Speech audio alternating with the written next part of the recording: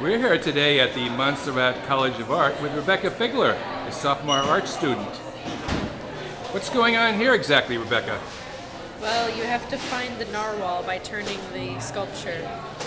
How does that work? Can you show us? Sure.